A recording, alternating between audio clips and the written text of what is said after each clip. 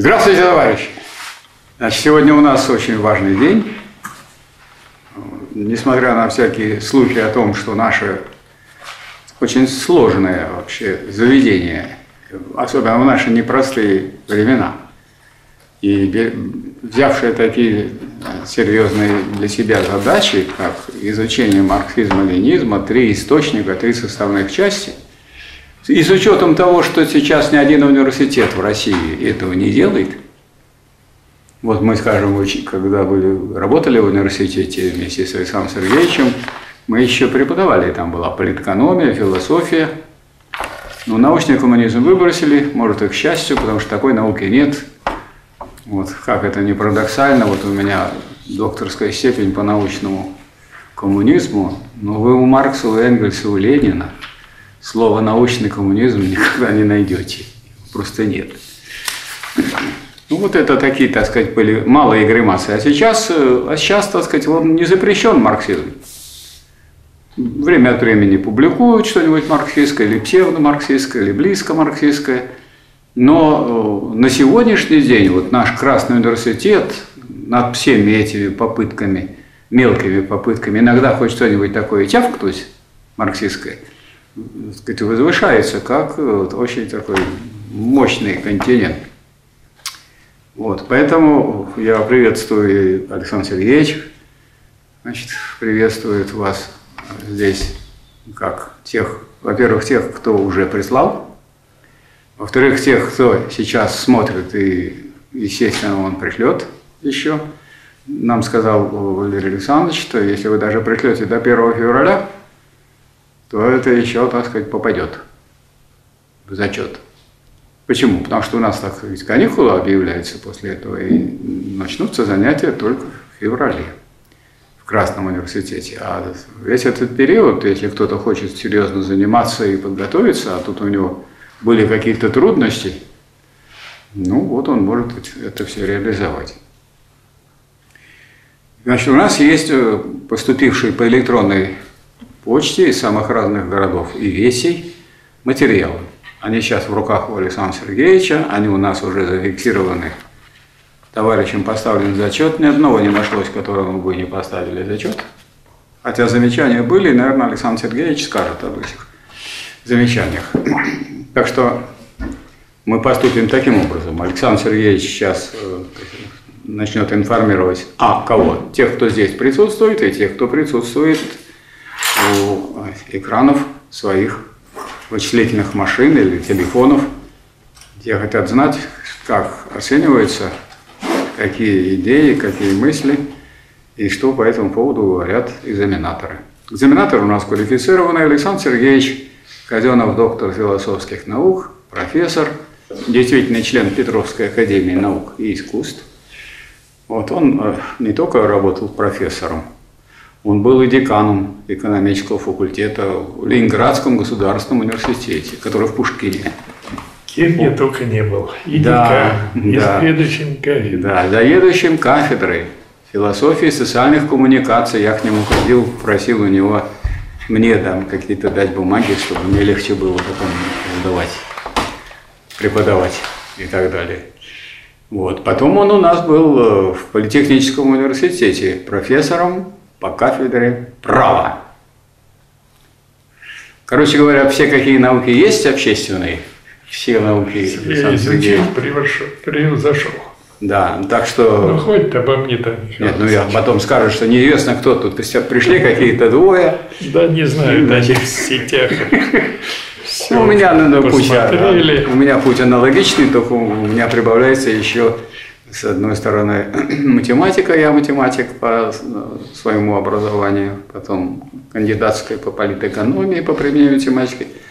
А докторскую я получил ни разу, не, преподавая, не, препод, не преподавая ни на одном, ни на факультете, ни на курсе, ни, ни месяц, ни год, ни сколько. И только когда я получил уже докторскую по философии, я стал преподавать философию в Санкт-Петербургском университете. Вы последний научный коммунист. Да. И я его горжусь этим, горжусь, что этого больше не будет, потому что, потому что научный коммунизм выдумал Суслов. Так, ну вот, пожалуйста, слово Александр Сергеевич вам.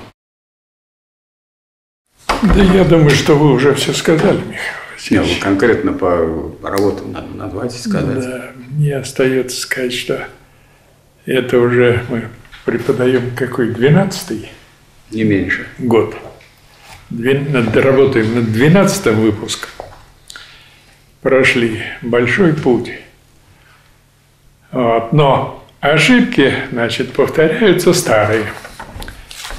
Значит, был какой-то период такой, когда нам слали такие научные статьи, работы и даже значит, такие философские произведения. И мы их не могли даже и прочесть. И мы их не могли ими овладеть.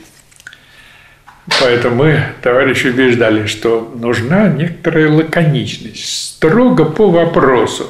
И желательно так это высказать определения какие-то конкретные, которые есть в науке, и свое отношение или краткие комментарии, ну, примерно на страничке.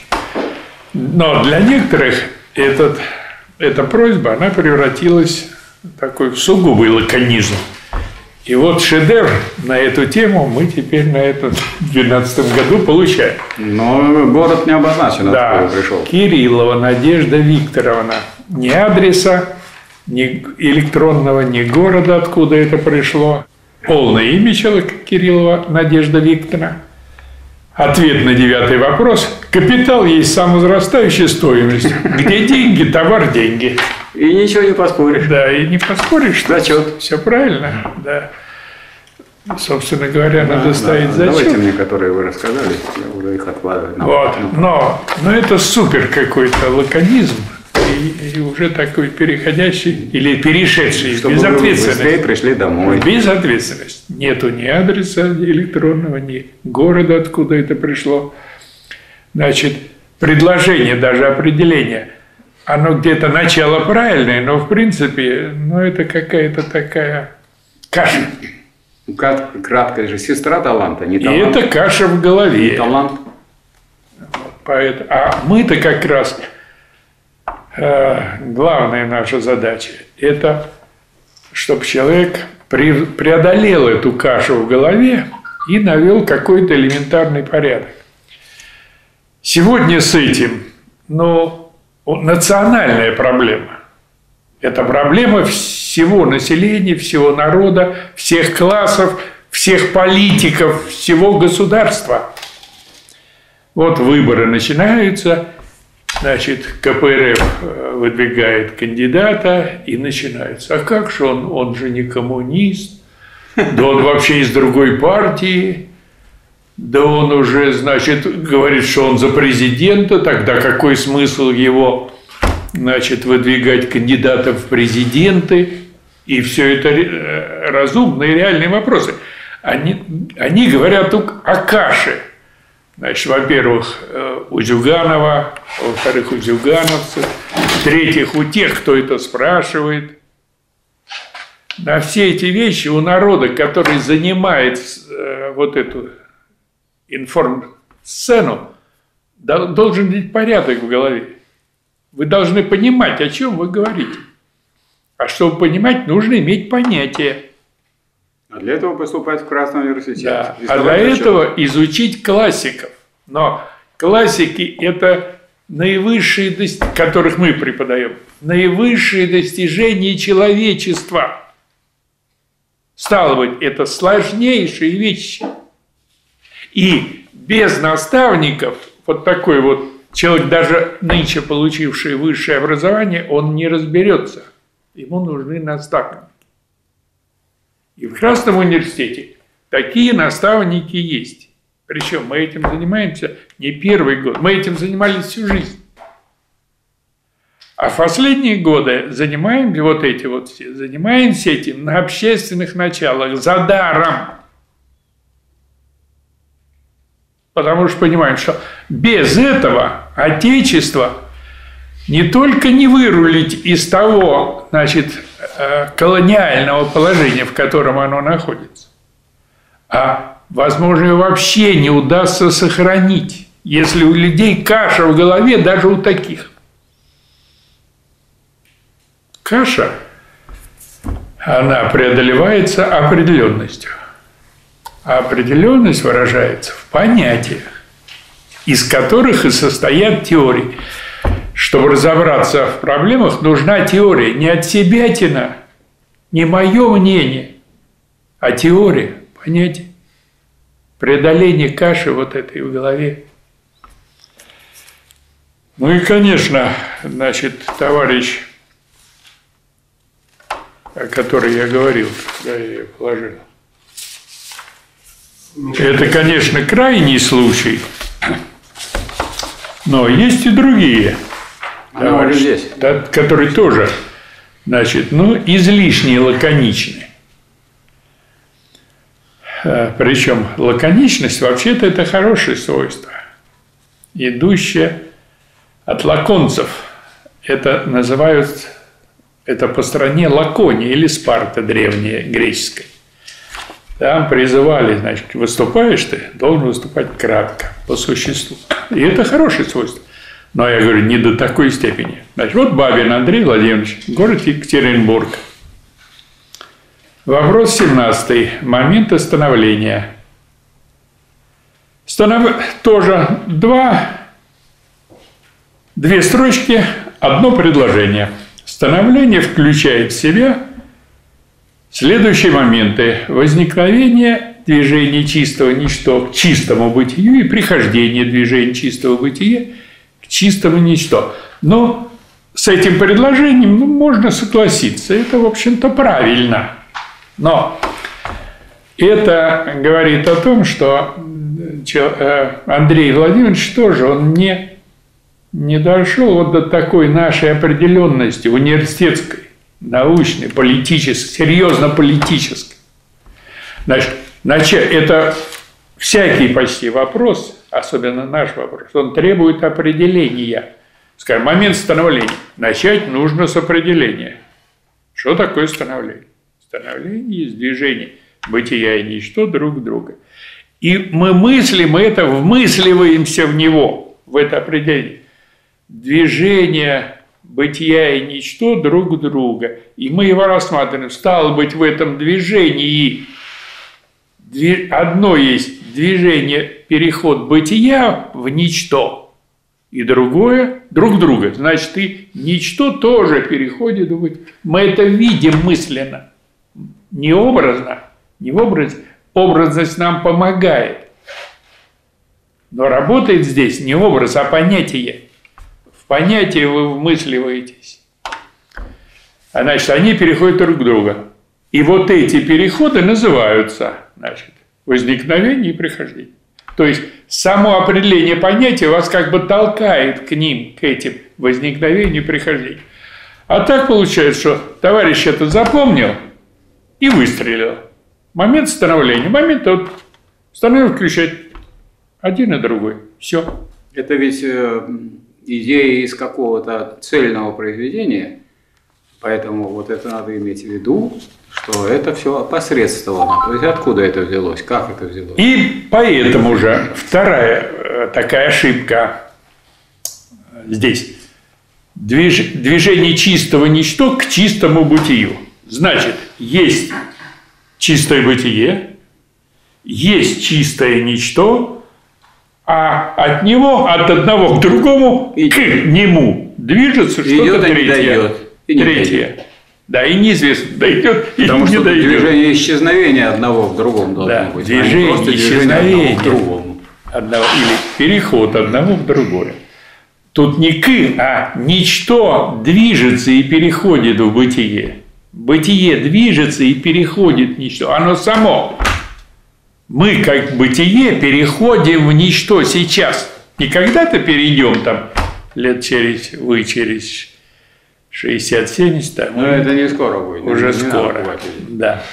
А сейчас мы уже переходим. И все переходит. Уже сейчас оно переходит. Это движение. Поэтому эти категории нам и помогают мыслить сегодняшнее. Мы мыслим, как сейчас должны мыслить и понимать, что вот этот режим современный путинский, он переходит в ничто. Его не будет скоро. Но другое дело, что он не сам переходит или не только сам и так далее и тому подобное. Но суть здесь, нерв здесь, направление мышления здесь. И если кто этого не понимает, тот ничего и другого очень не понимает. У него есть там какие-то образы. Но серьезного мышления нет. Это я специально вот с лаконичных товарищей начинаю. Кириллов Дмитрий Андреевич тоже излишне лаконично. Вопрос 21. Определение определения.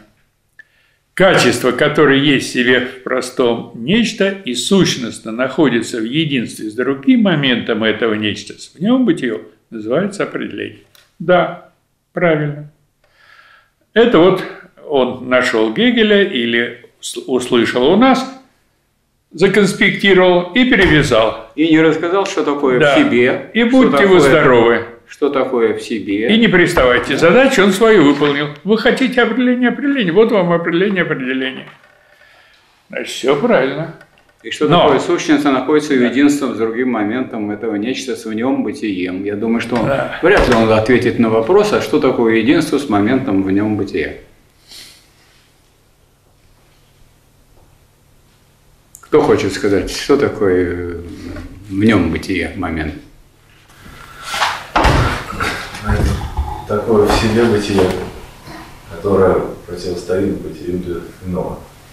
Ну не противостоит, она выходит к иному, выходит, наоборот. Выходит. Вот оно название такое обманное, в нем бытие, оно спрашивает. Но оно может только тогда быть в нем бытие, когда оно выходит. Если оно не выходит, нет этого движения внутрь. И изнутри нет и да. нет в нем бытия. То есть определение – это у Гегеля четкая логическая конструкция. Вот что такое определение в логическом смысле в сути. Но а нам-то надо понять, что товарищ Кириллов, он свободно общается с этой логической сутью, спокойно ее комментирует. Причем э, определение, любое высказывание какое-то, оно какой-то мере является определением. Скажем, Диана красивая девушка. Вроде предложение, да? Это не определение. Уже предложение делали. Но в то же время в нем содержится и некоторое определение, что вот она красивая девушка. Это некоторые суждения, да? Вот Диана красивая девушка, в отличие от некрасивой. Здесь звучит утверждение. Здесь мысль, и эта мысль, она определяет. Более того, Значит, вы определяете кого-то. Путин, допустим, умный человек, да? Вы этим определяете, этим высказыванием, вы вроде определяете Путина, но этим определением вы высказываете и определяете себя. И я, наблюдая за тем, как вы относитесь к Путину, как вы его определяете, я определяю вас, или вы определяете себя. А мы, по вашему определению себя, определяем вас. Как вы? Но раз Путин умный человек... Мы вот смотрим на эту четверку портретов и себя определяем. Да, значит, вы таков, таков и таков. Значит, поэтому, ну, конечно, зачет надо поставить, товарищ. Я вижу, чем, чем короче, тем больше, так сказать, времени уделяет Ну, мы за него должны товарищам-то значит, рассказать, что такое определение определения. Да. Скажем, сравнить полезно. Вот я, когда лекции читал студентам, я им объяснял, что э, полезно это сравнить с аристотелевским определением определения. Аристотель говорит, определение – это краткая речь, речь, хотя и краткая, о сути бытия. Насколько она краткая, это как раз зависит от человека. Да? И, скажем, у Гегеля, у Аристотеля, он несколько раз обращается к понятию, которое он определяет. Он дает определение кратенькое, краткую речь. А, но в процессе ее развертывания он дает еще некоторые краткие речи, еще определения. И в результате для каждого определения понятия определением, определение лежит во всей теории. Скажем, что такое стоимость? Можно дать краткое определение, которое вы знаете все, да? Но вся экономическая теория марксизма, она это определение стоимости. Вся теория, она с ее э, значит, понятиями можно определить любую конкретную категорию единичную. Почему? Потому что все категории взаимосвязаны друг с другом. Все они светятся одна в другой. Все они поясняют одна другой. И так далее и тому подобное. Поэтому этот лаконизм, он только показывает, что ну, вот человек коснулся и знает даже суть дела, и, наверное, почитал, и молодец. Но все-таки нужно мы-то учимся для того, чтобы вот получить вот эту свободу, то есть четкое понимание, что такое моменты, что такое становление и каковы именно моменты становления, ну и так далее. То есть и по отношению к другим понятиям тогда возникает вот такая определенность мысли, определенность мышления. И тогда человек научается, значит, о чем-то там думать. Да, я бы сказал, что вот э, такому человеку, который вроде написал кратко, можно ведь сразу прицепиться, сказать, что это значит, означает у вас вот это бытие, переходящее в ничто, что, что такое ничто, переходящее в бытие, да? И моменты какие, моменты становления какие в итоге. Вот эти два. А целое какое? а целое, что собой будет представлять, в котором есть эти два момента. Ну, что, рассматр... что рассматривается как целое? А? Становление рассматривается? Ну, может быть, вот, значит, становление. Значит, надо, надо сказать, а вот целым является становление для этих двух моментов. А то, так сказать, вот момент становления, вот так, вот так. А? Я просто готовил данный вопрос, может быть, я тогда попробую его развернуть. Нет, мы дойдем до вас, не беспокойтесь. Тут товарищи из других городов. Вам ближе ехать, сели на трамвай и все. Мы вот на них потопчемся, уясним четко, чтобы не было никаких проблем, чтобы была прозрачность. Вот Гегель где-то и замечает. Понятие сводит вот эту пестроту, многообразие мира да, в простоту понятия – оно простое, когда оно уяснено. И тогда и жизнь упрощается, мышление о жизни. И жизнь прозрачнее, виднее. Что стоит за болтовней там какого-нибудь товарища о, научном, о новом социализме?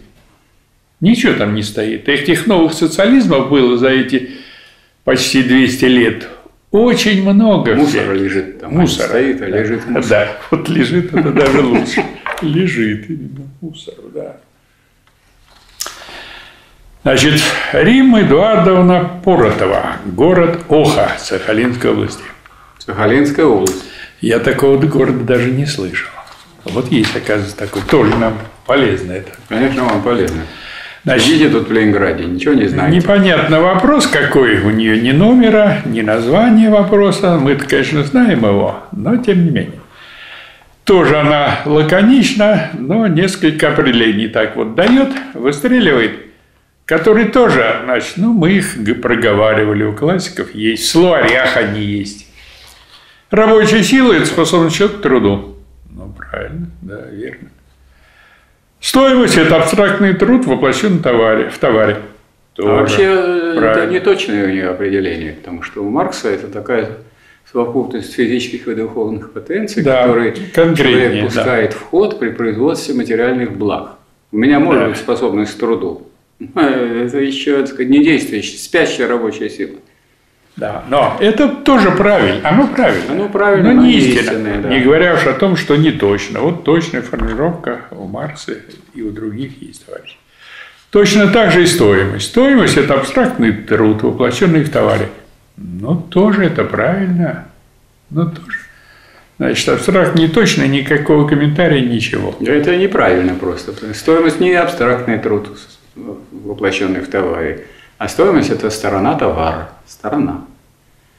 Его, его способность э, обмениваться на другие товары. А вот величина стоимости определяется трудом. Поэтому сказать, человек хотел покороче сделать, а получилось неправильно. Так можно вот э, голову поотрубать, чтобы люди, так сказать, у них короче они были, меньше места занимали вверх. Нет, я-то как раз думаю, что так можно сказать. Это Сказать это правильно, можно. но не истинно. Правильно, но не истинно. Также и третье. Стоимость товара рабочей силы определяется как стоимость жизненных средств, необходимых для нормального воспроизводства работника и членов семьи. Ну, да, Тоже это правильное выражение. Но тоже вот так, так абстрактно выстреленное и, э, не, указано, не указывается связь или нет связи с предыдущими. И оно тоже как бы ничего не дает. И, наконец, четвертое. Заработная плата – это цена, денежная, в скобках денежное выражение стоимости. Товара – рабочая сила. Ну, точно так же. Заработная плата, сколько мы о ней говорим, она у нас, ну, постоянно в центре внимания. Постоянно мы о ней, значит, дискутируем, коллективные договоры составляем, значит, чтобы заработную плату иметь такую более-менее достойную. Но свести это к абстракции, это и значит не разбираться в заработной плате, не понимать, что это такое. Хотя выражение, ну, тоже правильное, да, можно так согласиться. И зачет даже можно поставить. Ну и поставим. Да. Можно вопрос, а что бы вот тогда хотелось еще услышать? А? вот, а вопрос, а что бы тогда вот еще стоило добавить, э, ну вот, например, в третьей части к утверждению о заработной плате, чтобы это было? Что добавить в заработной плате? Ну, зарплата дается, денежное выражение стоимости товара. Но так надо сделать так, чтобы этот ответ был актуальным. Вот сейчас что происходит с заработной платой? Заработная плата – это постоянно возрастающая, э, постоянно убывающая цена товара, рабочая сила. Вот по факту она в нашей современной российской жизни, в силу инфляции. И наоборот, при капитализме свободной конкуренции в начале, из-за того, что конку- конкурировали капиталисты друг с другом, они цены снижались, и зарплата еще могла расти. А сейчас зарплата, зарплата не растет и не падает. Не падает, потому что ее понижают. И для чего Набиулина делает 13%, 14 или 15% ставку? Для того, а? Нас уже Ну снова, они туда-сюда ее гоняют. Туда-сюда ее гоняют. Для чего это делается? Ну, раз, э, чтобы получить какие-то средства, нужно отдать больше, чем 13%, но это значит, что коммерческий банк прибавит свои 7%, это будет уже не 13, а 20, а 20% это означает, что вся заперта наша экономика. И поэтому вот что сейчас происходит, ищут другие способы, ходы финансировать там через фонд э, прямых инвестиций, через специальный фонд, который есть у министра промышленности и торговли. А так сказать, взять кредит и что-то финансировать, это совершенно немыслимо. То есть это люди, которые поставили себе целью уничтожить нашу промышленность, чтобы она не развивалась. Вот это относится к зарплате. А иначе, так сказать, зарплата должна быть живая. Мы о какой зарплате живем, говорим? Который на Луне, который на Северном полюсе, или который сейчас есть, вот в это время. Значит, если человек вот он э, владеет этим понятием, значит, он что-то может сказать о современной заработной плате, правильно? Зарплата не растет, ее повышают. Она никогда не растет. Ее только повышают. Если за нее борются. А если не борются, то она уменьш- может уменьшаться. Нет, она может номинально повышаться, а реальное содержание Э, И уменьшаться. номинальное нынче понижают, будь здоров. И номинально, Я знаю таких и номинально понижает.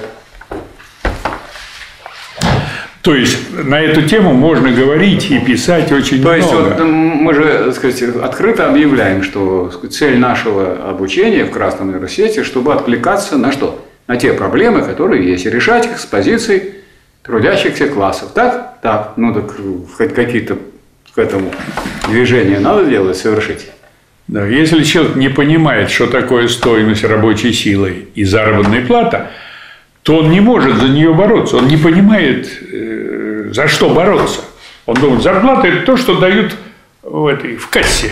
Сейчас даже и в кассе не дают. На карточке переведут и отстань. И бороться не надо. Вот. А борется только тот, кто понимает, в чем тут дело, что это рынок, и что на рынке есть продавец и покупатель, и что один заинтересован в том, чтобы меньше заплатить, а второй, чтобы ему больше заплатили. И так раз это борьба, так это нужно бороться, дорогие товарищи. А так просто никто давать не будет заработную плату, тем более повышать. Вы, нам, вы работаете в два раза лучше, а мы вам в полтора раза заплатим больше зарплату. Не на полтора, а 10% вы будете 10%. работать. И то в конце года как премию лучшему работнику. Да-да-да. Ну ладно.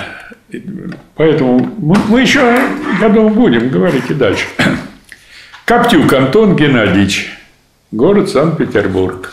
Земляк наш. Вопрос 17. Момент становления.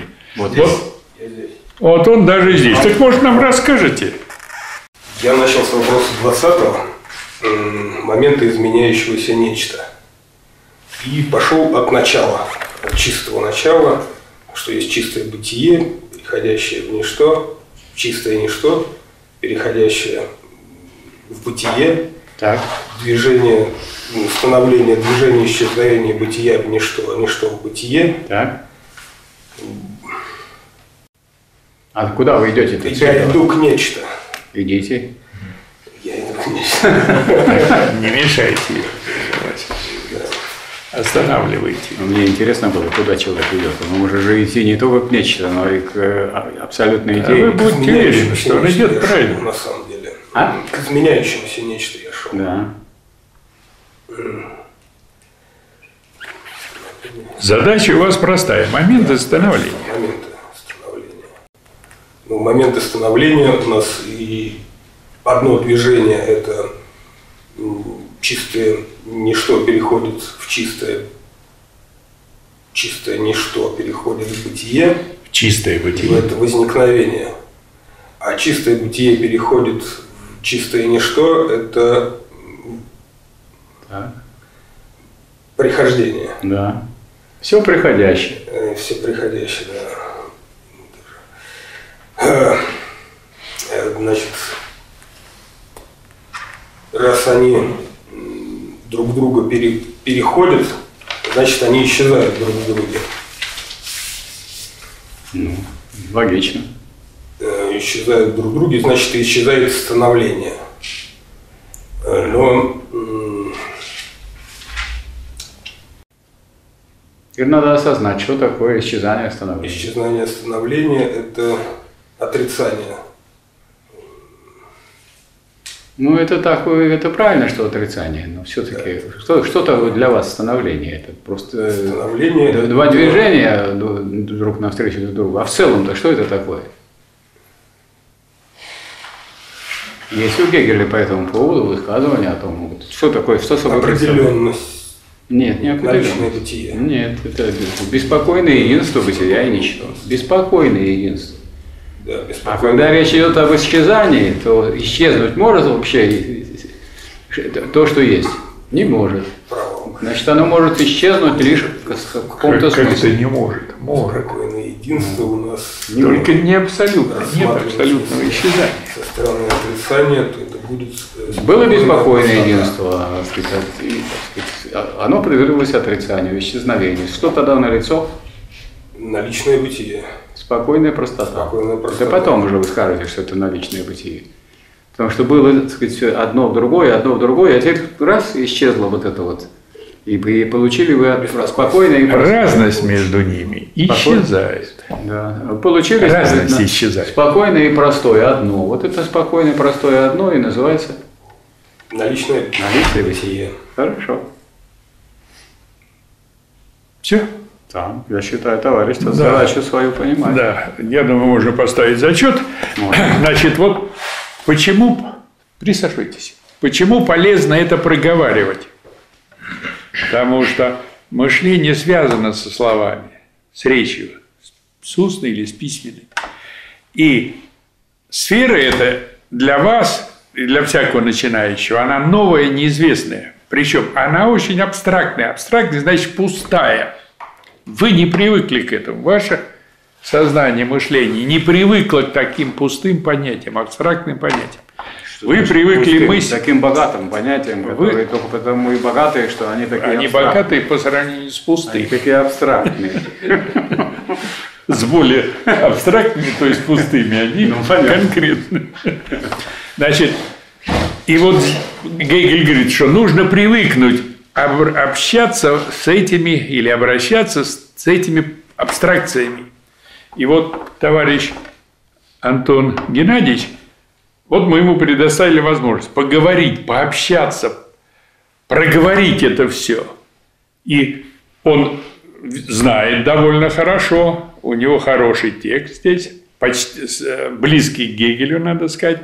Хотя, Гегеля близкий. хотя скорее всего, это недостаток.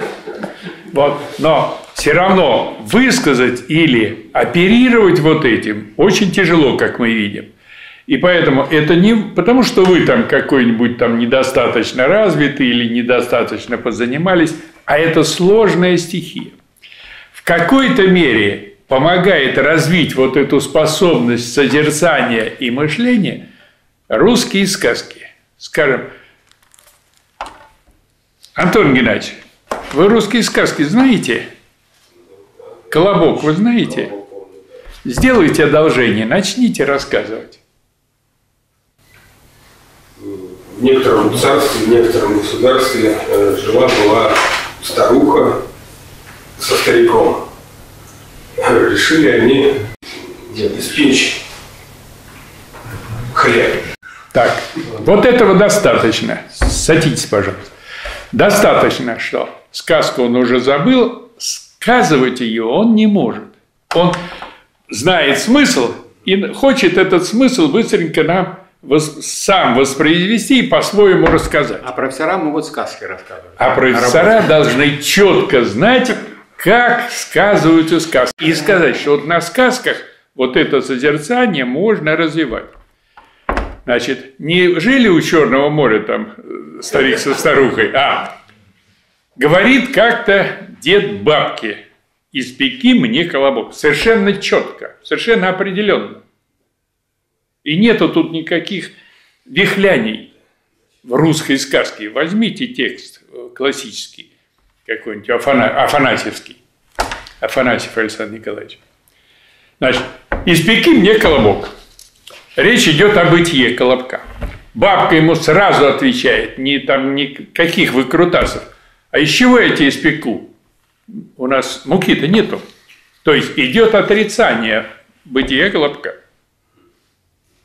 Чистое переход колобка, только чистое бытие колобка появилось, название просьба. Сразу идет отрицание. Еще я тебе испеку. Муки нет. С ручечком поскреби. Не, не, не, не, не, не.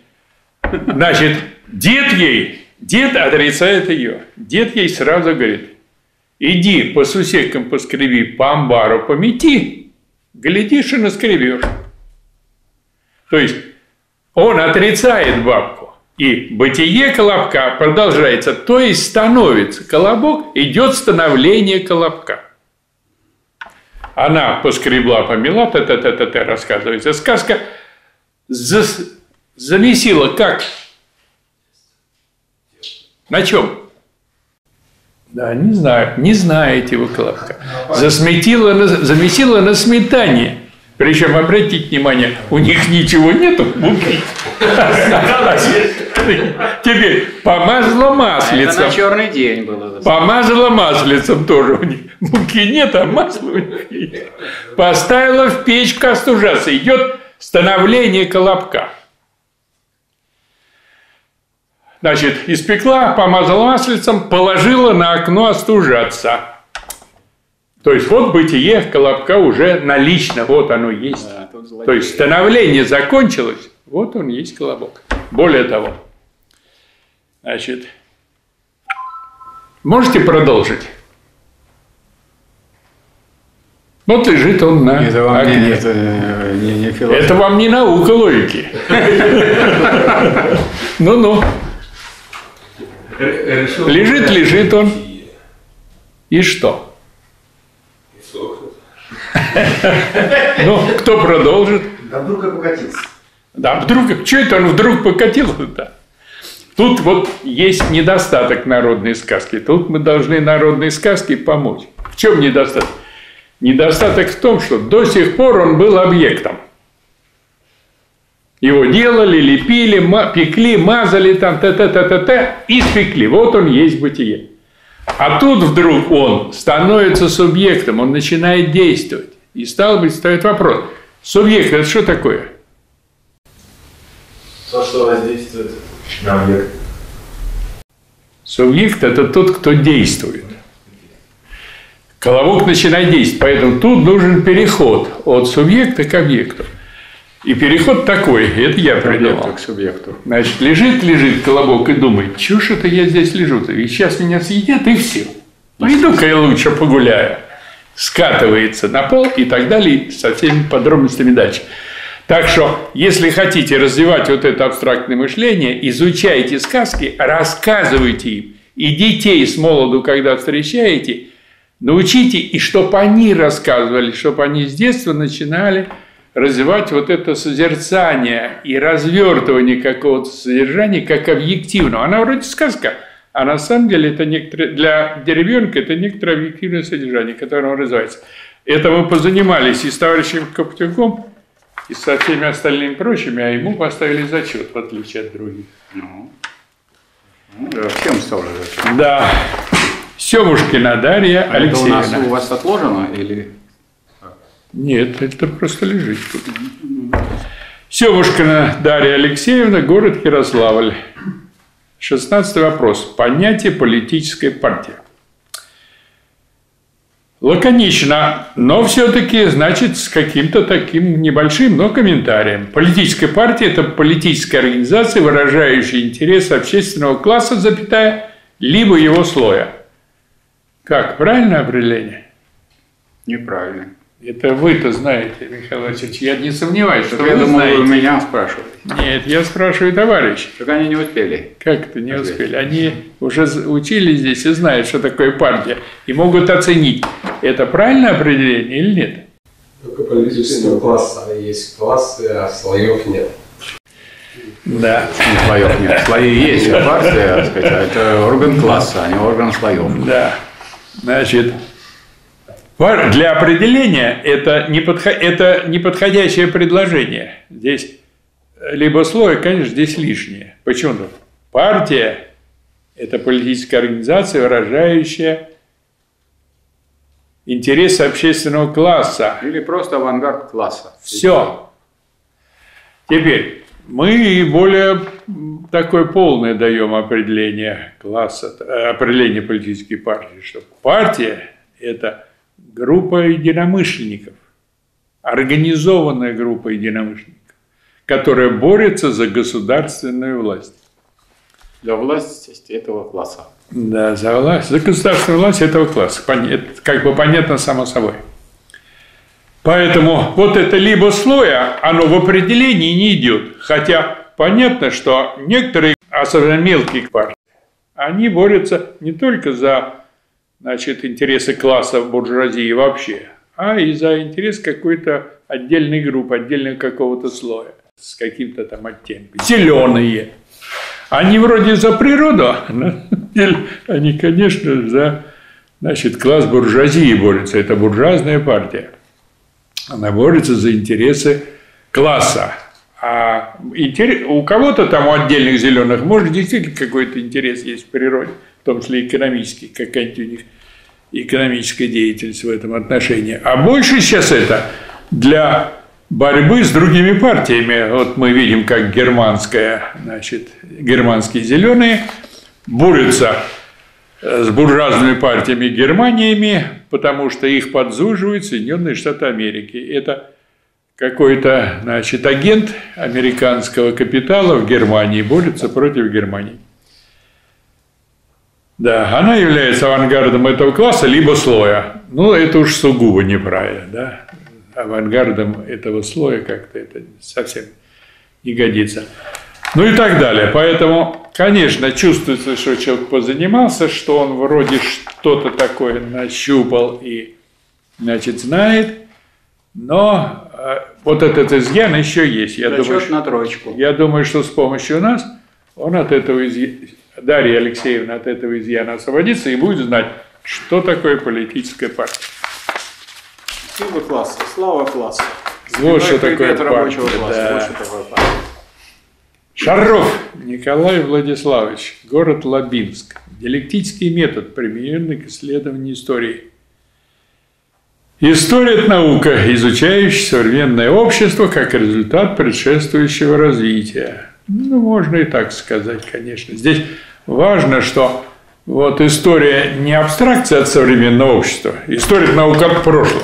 Причем это анекдот, может показаться анекдотом, но я, когда был, кстати, деканом исторического факультета, как-то я в одном случае засомневался, что историк мой, доцент, историк, преподает историю России моим студентам, значит, не знает, что такое история, не знает, что такое понятие истории. Я его спрашиваю, Иван Иванович, история – это что такое? История – это наука о прошлом.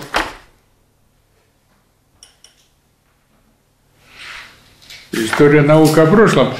Так можно сказать. Археология – это уже о прошлом. Это можно сказать. Но это опять отрыв значит, мышления от реальности, от предмета, от бытия. Это наука о формировании настоящего, о его формировании. Поэтому она и связана, поэтому некоторые говорят, что история – это политика, обращенная в прошлое. Даже один остроумец, не помню кто, говорит, история России непредсказуема. Почему? Потому что с каждым переворотом появляются новые взгляды на историю. Они видят по-разному формирование современной ситуации. И, конечно, у каждого класса свои поэтому историки. И одни историю преподносят так, другие так. Монархисты. Так, мы, рабочий класс, значит, изучаем и преподносим ее научно, с научной действительно точки зрения. Да, ну и э, рассказывает о Гегеле, о Марксе и Энгельса и говорит, что идеалистическая философия Гегеля была полностью переработана с позиции материализма. Ну и надо сказать, что не только философия Гегеля была переработана с позиции материализма, но и экономика, экономическая теория, политическая теория, другие теории, которые вошли в мировоззрение марксизма. Или были предпосылкой возникновения марксизма. Чоп Алексей Михайлович, город Екатеринбург, вопрос 27, насущные коренные интересы рабочего класса, он как рабочий, как активный рабочий участник значит, э, Российского комитета рабочих, значит, все хорошо изучил, все хорошо знает, поэтому можно его только поддержать, поставить зачет и не тратить время дальше. Пожелать успехов. Пожелать успехов в борьбе. борьбе да. Кашфулин Руслан Маликович, Ленинградская область, город Сертолово. Формальная логика и диалектика. Ну и надо сказать, что он тоже значит, довольно серьезно и подробно отнесся к, своим, к своему вопросу формальной логика диалектика. Значит, хорошее у него предисловие, о формальной логике он довольно грамотно э, говорит, вспомнил не только Аристотеля как основателя формальной логики, вспомнил и материалистическую, э, математическую логику, их связь, Э, о диалектике также рассудил довольно грамотно, вспоминает три закона диалектики, да, науку логики, правильно они высказываются глубоко, поэтому тоже ему надо поставить зачет и не тратить время. Или вы хотите комментарий какой-то? Даже Климов Александр Мич, город Мурманск, город моей юности. Я три года работал в Мурманске. А я один раз там был. А я потом туда приехал через 20 лет. Говорит, прошло время застой. По Мурманску, в Мурманске никакого застоя не было. А я шел там один раз, но спиной вперед, потому что лицом невозможно было. Такой, такой был снег прямо который тебе все далеко. А я приехал, новый город. Раньше он был такой желтый, желтые были дома. А приехал он такой светло-коричневый. Все застроено, все горы этими новыми домами. И строил их знаменитая бригада Героя социалистического труда Травина или Травкина? Травкина. Травкина. Травкина. Который потом заделался демократом и был одним из организаторов демократической партии. И до сих пор старик все что-то там, значит, вот делают не так, демократии нету. Думаю, ты же строил в этот период, который обозвали, значит, застоем. Герой труда, тебя высоко оценили. И ты теперь, значит, на побегушках у демократов, у капиталистов, которым ты не нужен, которые на тебя наплевали. И правильно сделали, кстати сказать. Да, а Климов, он не таков, наш Климов. Климов, он серьезно, значит, позанимался. Вопрос у него, что значит термин экономизм? И очень хорошо, во-первых, разобрался, значит, у Ленина с экономизмом и с критикой Лениным экономизма. Рассказал об этом движении экономизма. Вот я даже э, некоторых не знал. Тахтароев. Так вы используете экзамены для самообучения. Пикер, да, вот он меня тут просветил. Мадама Кускову-то мы же все хорошо знаем. Почему? Потому что она и в искусстве представлена теперь. А, Кричевский знаменитый, да, Ленин его много критиковал, Прокоповича много там критиковали. А, а вот этих ну, двух, это я не знал. А, это, оказывается, настоящая фамилия Мартынова. Мартынова мы, конечно, знаем, Ленин его критиковал много. Вот я не знал, что настоящая фамилия Пиккер. Будем знать теперь.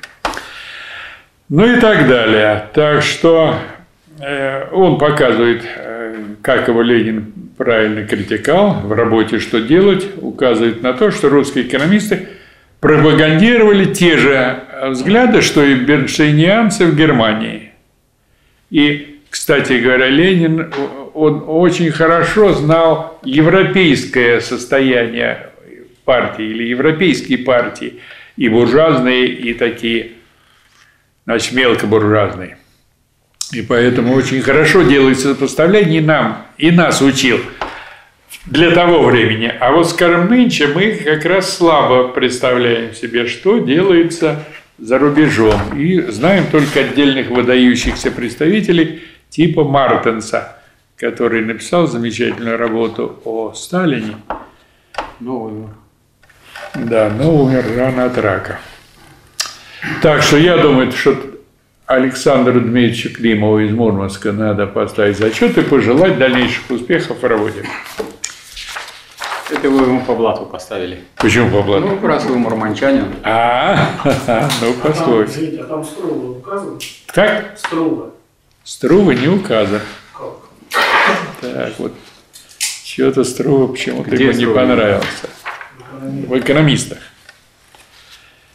Ивлев Илья Львович, город Москва. Ну Вот Москва, приятно, что она нас никогда не забывает, и каждый год кто-то из Москвы присылает работы. Вопрос 14. Что такое политика? Политика – это классовая борьба за завоевание удержание осуществления государственной власти в классовых интересах. Диктатура классов в. Да. Очень лаконично, точно, глубоко, и она является борьбой теоретической, пропагандистской, агитационной и авиационной. Ну и вот он не вспомнил, но мы можем сказать, что всякая классовая борьба есть борьба политическая. Поэтому и политика, конечно, политическая Поскольку борьба. политика Само есть собой. отношения между классами. Да. Классы – это большие группы людей. Кстати, да, вот, различающиеся по месту и дает полное определение классов. И вот, вот мы можем с вами значит, испытать чувство удовлетворения. Вот, скажем, есть известный историк, которого, наверное, вы слышали, видели в сетях. Спицын Евгений Юрьевич. Да. Слышали? Он часто выступает. Кстати, и на телевидении центральном. Да. Недавно вот он на ТВ. Я НТВ не смотрю, но тут что-то прокручивался, и на НТВ сидит Спицын. Думаю, да, интересно, что это он тут сидит. Значит, начал послу- его слушать. Его там пытаются вывернуть. Он у них считается марксистом, значит, и они его выворачивают наизнанку.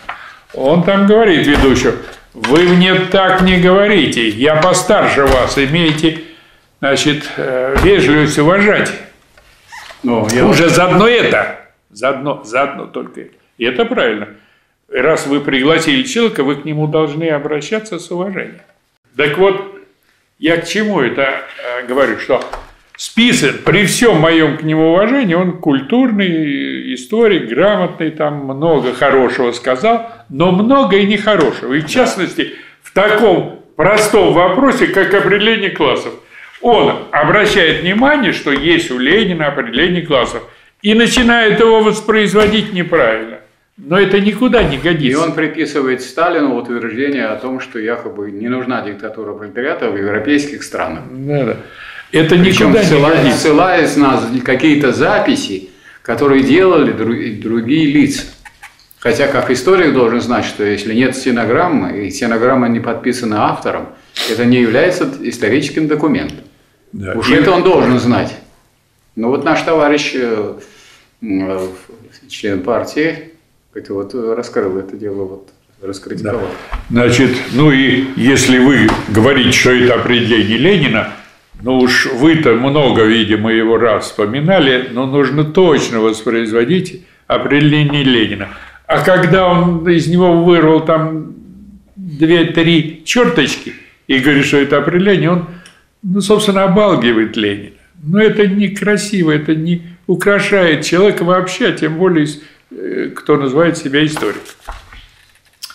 Поэтому Ивлев Илья Львович, он вот научился, я думаю, что он таких вещей не позволит. Что такое политика? И связывает политику с экономикой. И этому он научился у Ленина, так и говорит. Владимир Ленин писал, что политика – это концентрированное выражение экономики. И при этом добавлял, что политика не может не иметь первенства над экономикой. То есть экономика имеет первичное значение во всем обществе, но политика играет главенствующую роль. Ну что, зачет, молодец, очень четко, хорошо.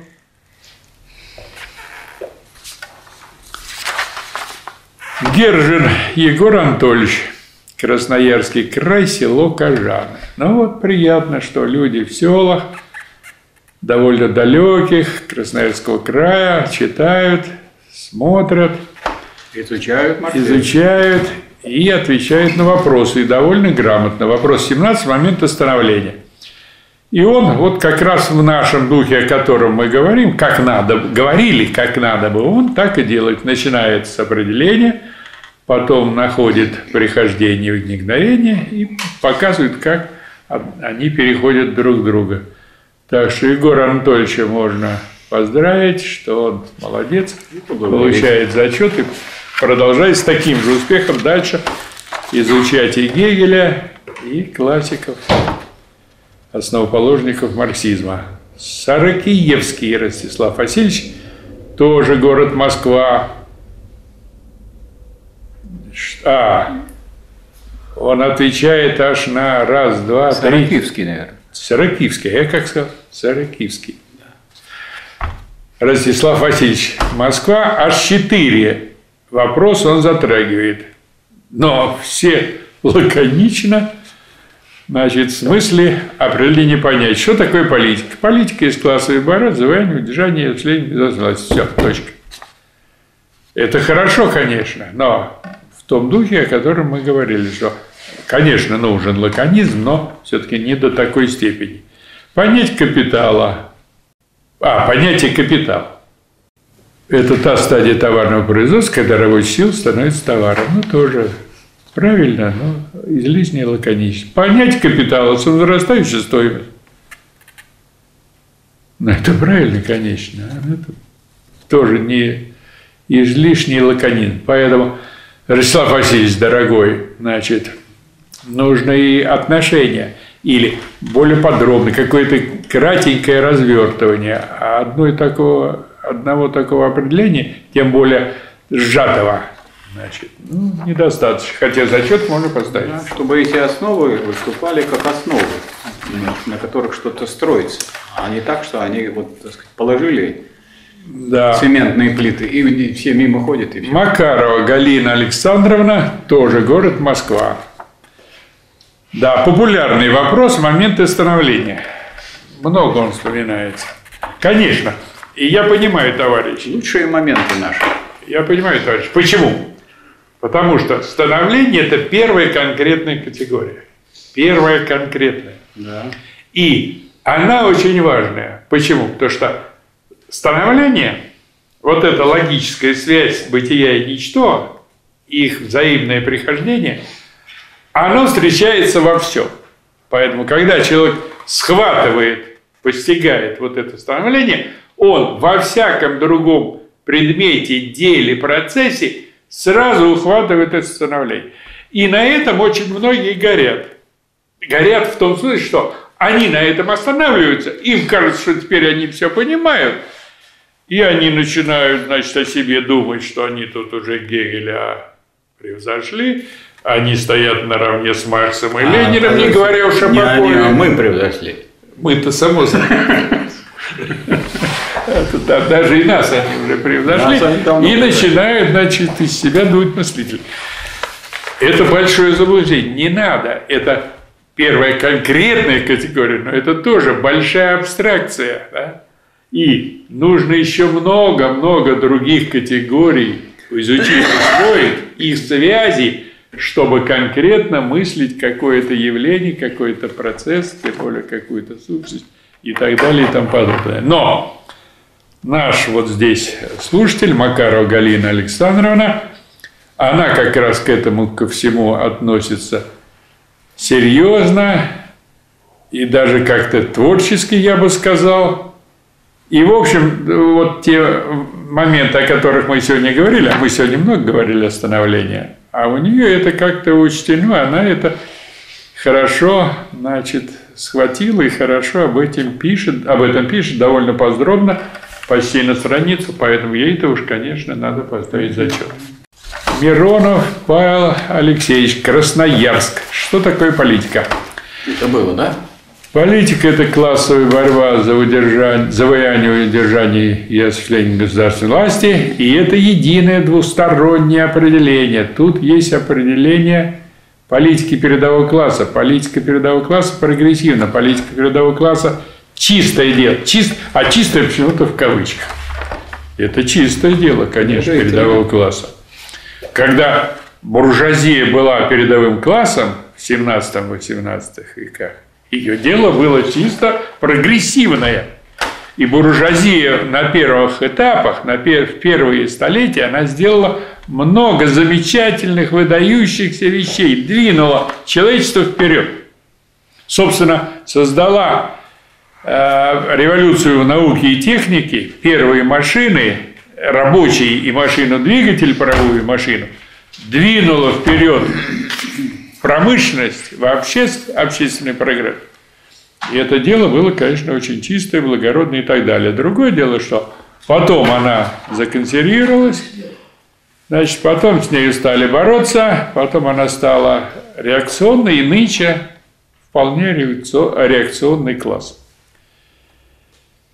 Поэтому, значит, Поэтому капитализм в молодые года споро работал, не боялся тогда, что у него от трудов засолится манишка. да-да. А потом обдрюзгай обдряп и, и лег у истории на пути в мир, как в свою кровать. Вот это уже поэзия освоила. А нам тем более это нужно освоить, раз мы это изучаем.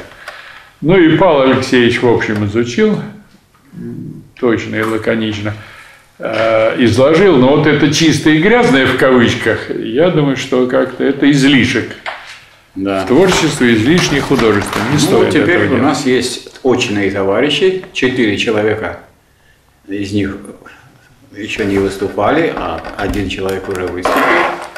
Так, вот, значит, тогда хоть берете, поднимаете руку, Кто-то хотел там выступаете, рассказываете, с учетом тех замечаний, которые Александр Сергеевич делал. Он вроде не зря, так сказать, так налаживал, отлаживал, чтобы было понятно. Имеет ли смысл рассказывать, если мы сейчас уже становление? Это имеет смысл для вас. Мы даем вам возможность поговорить. Вот о чем я говорил, про сказки там и прочее. Вас же вот Вот смотрят надо сейчас. проговорить это. Вы посмотрите, вас смотрят, два, во-первых, два канала записывают, и вас смотрит вся страна. Кстати, даже весь мир. Да. Но мой вопрос я готовил момент становления. Самый Хорошо. популярный вопрос данного семестра, судя по всему. Движение исчезновения бытия. Да, так вы попробуйте вот А. рассказать. Рассказать, да. Да. Сначала представлюсь. Карлов Павел, город Ленинград, слушатель Как? Красного. Карлов Павел, Павел. Павел, так, нам бумагу надо. А, или мы сюда можем записывать? Вот сюда. Слушатель Красного университета. Вопрос 17 момент становления. Движение исчезновения бытия в ничто и ничто в бытие есть становление. Вижу, что в данном движении есть два противоположных движения. Называю эти противоположные движения в одном движении моментами. Рассматриваем моменты, точнее рассматриваю. Первый момент – ничто, переходящее в бытие. Называю такой момент возникновение. Второй момент – бытие, переходящее в ничто. Называю такой момент прихождение. Возникновение и прихождение – это моменты становления, или становление представляет собой беспокойное единство возникновения и прихождения. Рассматриваю, куда становления у нас делись бытие и ничто. Возникновение – это ничто, переходящее в бытие, или, короче, ничто. А прихождение – это бытие, переходящее в ничто. Короче, бытие или бытие с некоторой определенностью. Ну, подытоживая данный вопрос, можно отметить, что таким образом получили, что в становлении есть два момента возникновения и прихождения. Момент возникновения является ничто становлением, а момент, э, момент возникновения является ничто становления, а момент прихождения является бытие становления. Очень хорошо. А вот скажите, пожалуйста, где это применяется? Это к чему относится? Вот вы рассказали как будто так, что это относится к становлению и к изменению, и к прихождению или возникновению. А вообще, где это можно применить, вот то, что вы сказали? К чему оно это момент? применимо, да? Да, в любом движении, ну, имеется в виду не движение как механическом, а, собственно, даже в развитии человека, допустим, себя. Придя То есть к вам применимо, а к нам? Конечно, и к вам. Но я Ну, сначала хорошо. про себя говорю, потом уже про всех Ну, понятно, вы как человек не никого эгоист, не- сначала про себя говорите, а потом уже. Естественно, Ну, понятно. да. Вот я сейчас нахожусь в становлении. Да. Давление. Да, у меня есть два момента. Я развиваюсь, то есть м, и в то же время я умираю. То есть перехожу. Не-не, это как человек, как биологический организм. А я так вас, заявку вашу понял, вы как, ну, марксист, как ученый, как теоретик развиваетесь, становитесь. Совершенно верно, да. Ну, так в этом смысле пример-то поверните. Что тут у вас э, возникновение, что тут прихождение особенно? Что возникновение, вот нам понятно. Обычно возникновение это С чем понятно. вы А прихождение? Какой у вас Ну, расстаюсь, можно сказать, со, старой, со старыми мыслями, со старой идеологией, с незнанием всего того, что происходит у нас в мире. Точнее, то, что у нас вкладывали, а именно капиталистические идеи, отчасти религиозные и так далее. Здесь у нас, конечно, идет прихождение, у меня точнее. Так, Ну, вот- стоп. А внутри самого возникновения это есть отрицание? Внутри самого возникновения. Да, вот вы научаетесь, изучаете, а в нем внутри отрицание есть, прихождение есть. О, конечно, Ну есть. в чем?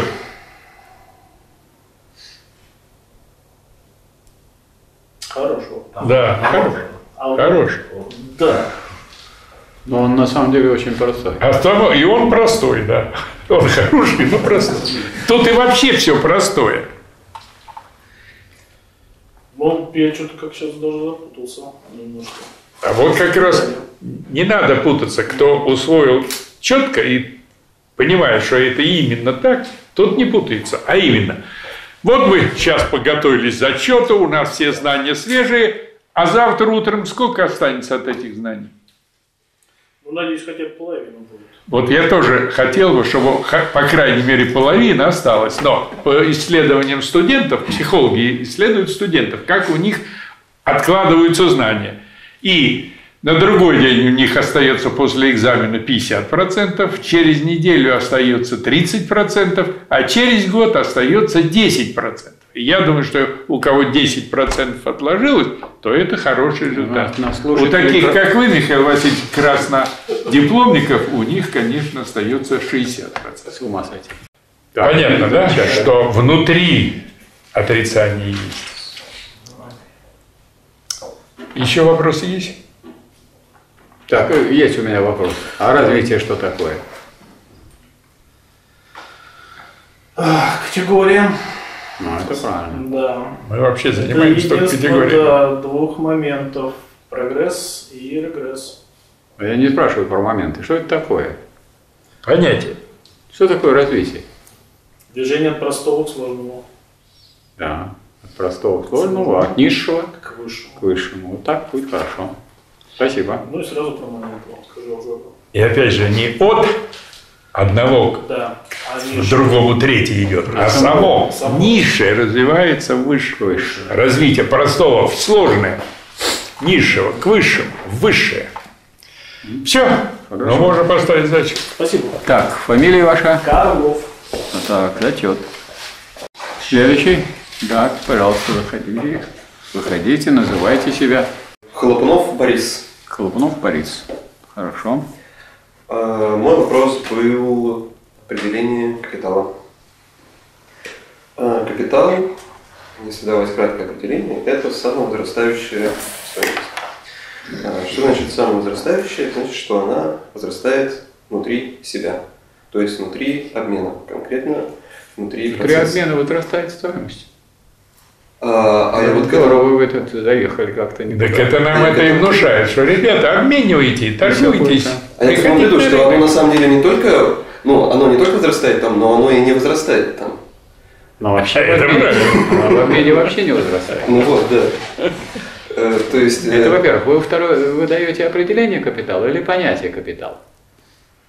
э, Ну, я хотел бы дать понятие. Ну, ну, так вы согласны, что самовозрастающая стоимость не тянет на понятие? Я А на надеюсь, понятие и- надо, для понятия надо другое давать утверждение. Что такое капитал? А тем более это не очень верится, что вдруг стоимость, вот вдруг она Сама и возрастает. Сама и возрастает. То есть это, так сказать, нуждается в Цены сами растут. в объединении, да? э, Под самовозрастающей я имею в виду, что она внутри чего-то возрастает. Внутри чего она возрастает? Э, Внутри э, процесса обмена деньги, товары, деньги, штрих. В процессе процесса обмена никогда не возрастает, Вот. молодой дорогой товарищ. Согласен. То, что вы говорите, это совершенно Согласен. неверно. Ну, Э, Потому что внутри обмена обмениваются эквиваленты. ну так а Да. что, куда вы нас завели? Таким, тогда? таким образом э, э, получается... Значит, совсем- это дело. Ничего внутри обмена ничего не увеличивается. Где самовозрастание происходит, стоимость? Э, ну, оно происходит за счет того, А что- где? Подождите, за счет чего-то в кого? В какой сфере? Где это происходит, самовозрастание, стоимость? э, ну, в сфере производства э, товаров. Да, это правильно, в сфере производства товаров. Так, и кто эту самую стоимость создает? Э, создается она трудом, ну, то есть... э, Ну, кто создает стоимость? Рабочий. Рабочий, вот уже понятно. Они просто что, вот она самовозрастает. Ну, раз самовозрастает, вы рабочие не нужны. Стоимость сама самовозрастает. Идите домой и зарплату не требуйте. Согласен. А то вы так лихо начали, а на самом деле знаете же вы. Да. Значит, создает эту самую стоимость. Не обязательно рабочий, а если человек производит не, не рабочий, а производит, э, скажем, капусту, и идет и выносит ее на рынок, это будет товар. Да. Ну, а тут он не рабочий, он будет крестьянин. Но он не капиталист. А? Но он не капиталист. Нет, но он производитель, но он другой класс. Вы класс это как-то решите с ними? Мы же обсуждали именно определение капитала. Капитал вы даете? Да. А. Поэтому как будто бы здесь крестьянин не самый лучший пример. Если у вас все сводится к самовозрастанию стоимости, то прекрасно идет самовозрастание стоимости и тогда, когда крестьянин работает, и вот и возрастает, и возрастает стоимость его продукта Сельскохозяйственное производство. сельхозтруде. Капусты все больше и больше, стоимости все больше и больше. То есть э, это вот очень есть краткие э, высказывания, Но они нуждаются в, ну, как бы в изложении обстановки. Речь-то идет о чем? Где происходит, где происходит вообще а, создание стоимости? В процессе труда рабочих. В процессе труда или на фабрике? Э, Это правильно, что она где-то в процессе труда. Ну, вот, а, ну, в том числе и на а фабрика знаете, что такое? М, Точного определения боюсь сейчас. А чего вы не знаете, что такое фабрика? Ну, вообще капитализм себя показал как фабричное производство, правильно? Прежде всего. Да, согласен. А что такое фабрика? Ну, ну, я могу попробовать вывести это определение. Попробуйте. Хорошо. А, Можно пойти, наверное, от того тогда, что как раз-таки фабрика является а, некоторым, ну, то, что привнес а, капитал, кап- капитализм. Принес, а что до фабрики было? Во что, прев- ваш- что превратилось в фабрику? До фабрики что было? А, До фабрики было цеховое производство, цеховое.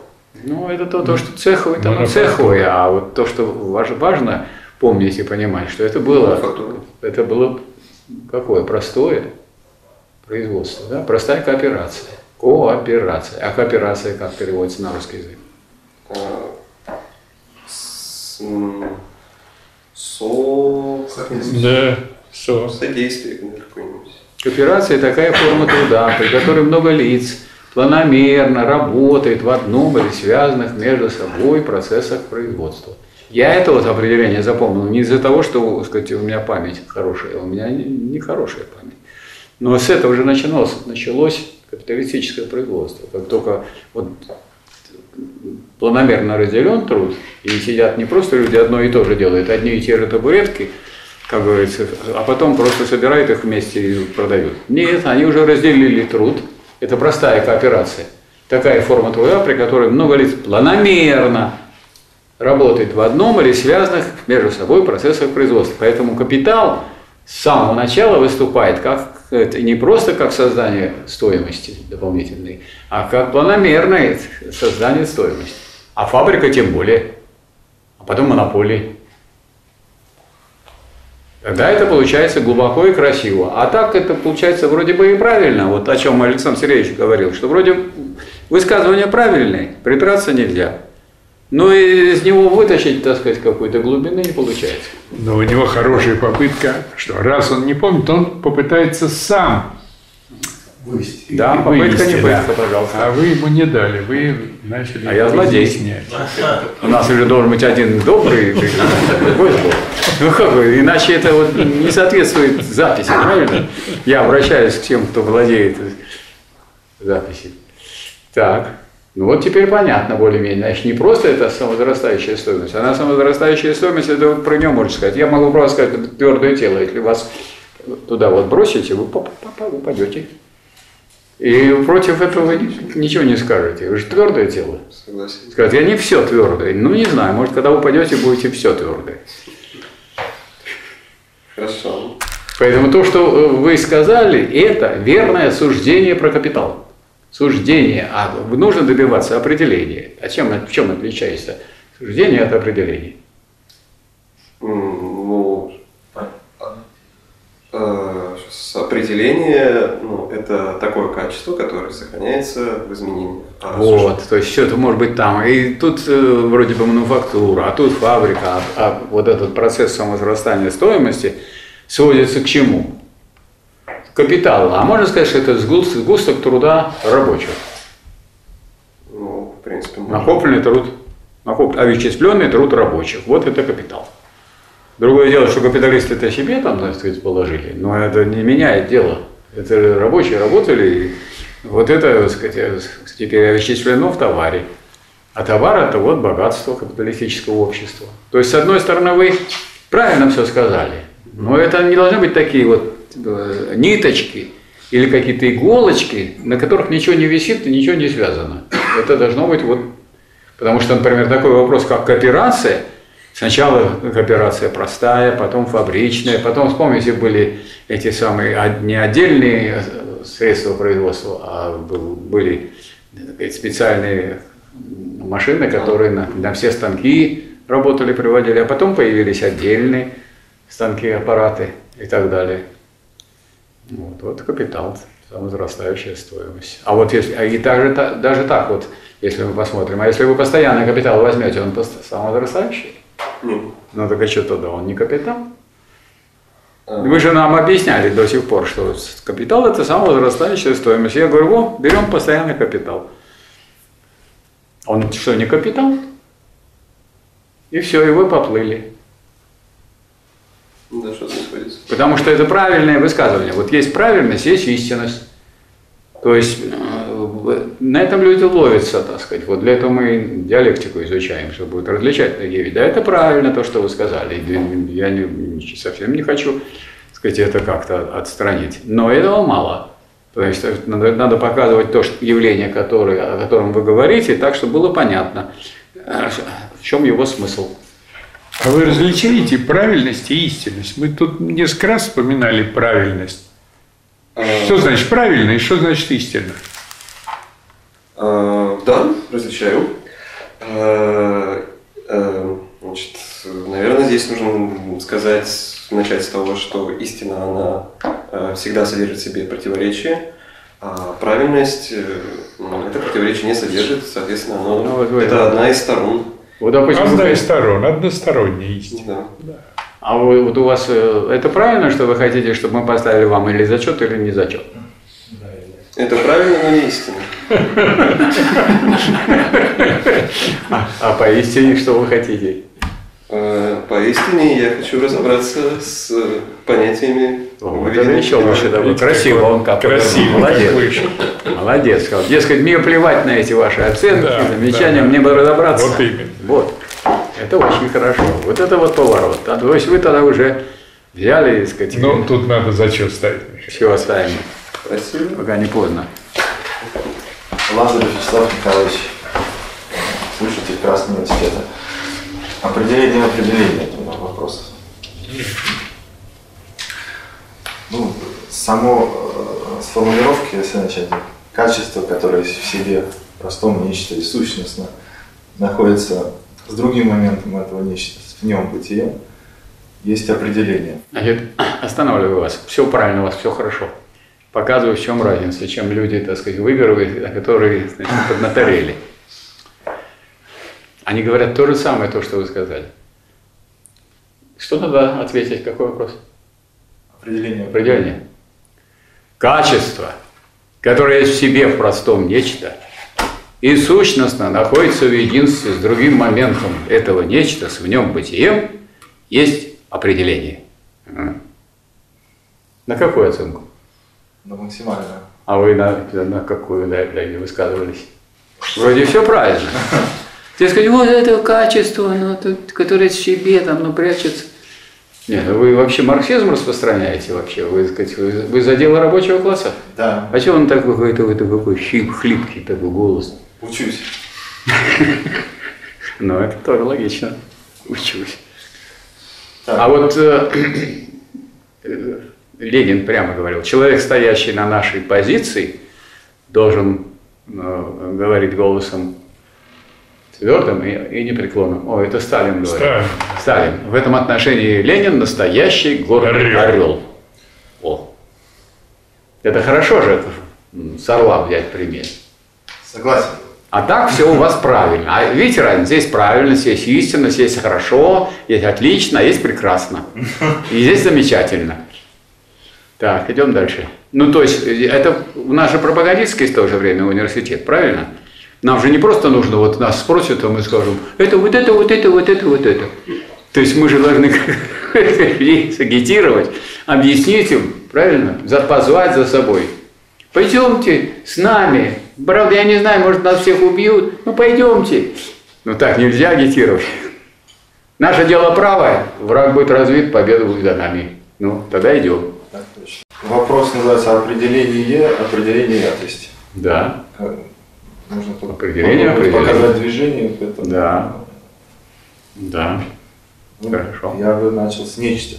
А? С нечто можно начать. Начинайте. Кто мы? Можно сделать как вывод, запрещать, давай. То есть вот как результат рассмотрения нечего. Да, то есть показать генезис этого определения тогда. Это тоже вот Это тоже такой подход. Ведь Да. что человек не, не, не, зап- не запомнил, там бум-бум-бум-бум-бум. И, а он знает, откуда это все пришло. Есть Да. нечто. Нечто – это определенное наличное бытие. Так. Если короче, то наличное бытие, да, э, которое содержит в себе становление.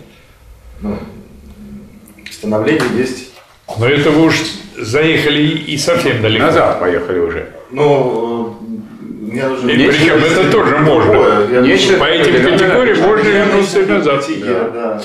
Наличное бытие содержит э, э, становление, в котором есть два момента. Бытие, то есть само нечто, Да.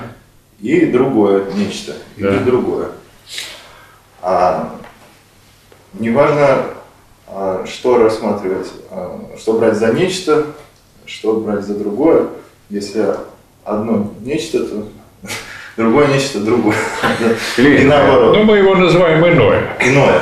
Или иное. А, И есть Они- поэтому такая сакраментальная фраза очень хорошая. нет друг- Иное иного есть. Иное, иное, О. да. И сразу тогда вы можете получить тут сразу результат. Не- Нечто и другое, они находятся вне друг друга. Или не, не находятся. но Поэтому, Нечто и другое вне друг друга. Ну так, э, нет такого. Ниоткуда это не следует. Ну, по крайней мере, Ну, У вас есть нечто иное, вот Нечто они иное. переходят одно в другое. Как же они вне друг друга? Они с одной стороны вне, а с другой стороны не вне. ну, Но если они в единстве находятся, как же они вне находятся друг друга? Побойтесь Бога. ну, вообще, я тоже так думаю, просто недавно пересматривал э, какие материалы наши. А для того, чтобы рассмотреть иное само по себе, нужно к этому прийти же.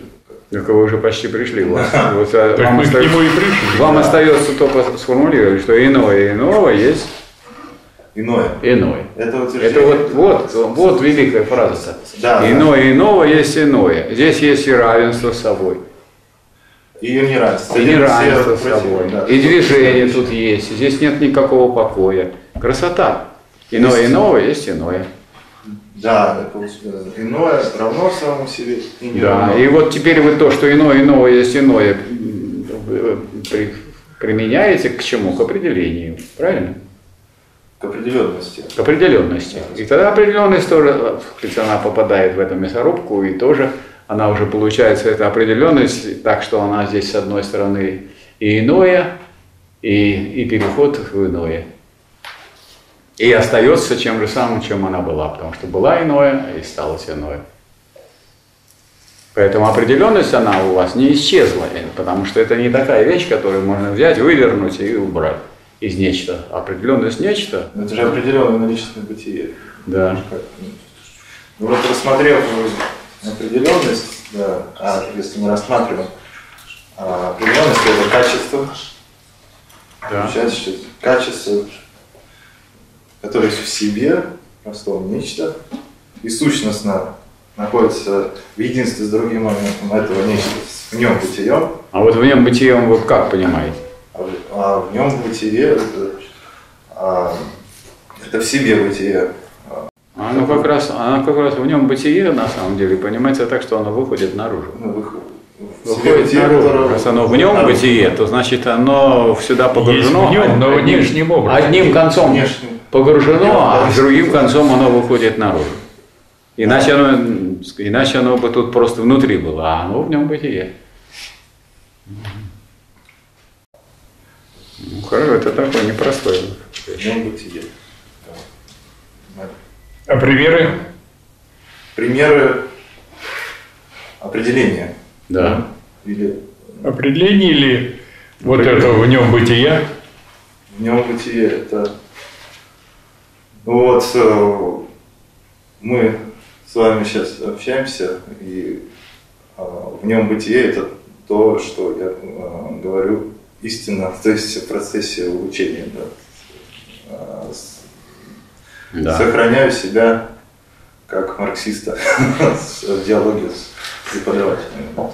И. Дескать, вы меня... Отфутболивает нас. Нет, нет, он хочет сказать, что вы хотите от меня оттолкнуться, а я в нем бытие, из этого ничего не выйдет, потому что в нем бытие, оно, оно же и в себе бытие. Поэтому никуда его не денешь. Все в порядке. И все правильно. Да, молодец. Хорошо. Хорошо. А, ну, Зачет. надо записать. Зачет. Запишешь. Зачет. Так. Вячеслав Михайлович. Лазарев. А у Гегеля разве нет такого, что нечто и А? вне друг друга? Оба нечто. Вне друг друга? Нет такого у Гегеля? Нету По такого. как, ну, как рассуждение. Они вне друг друга, можно про них сказать, потому что они какой-то конец выходит за это, за это нечто иное. Они же отличаются. Раз они отличаются, в этом смысле они вне друг друга. Но не так они вне друг друга, как вы с, вот сидите вдвоем. А надо вот некий симбиоз, когда у вас две головы и четыре руки, и чет- и четыре ноги. И вы и с одной стороны связаны, и с другой стороны вы сказать, в то же время разделяетесь.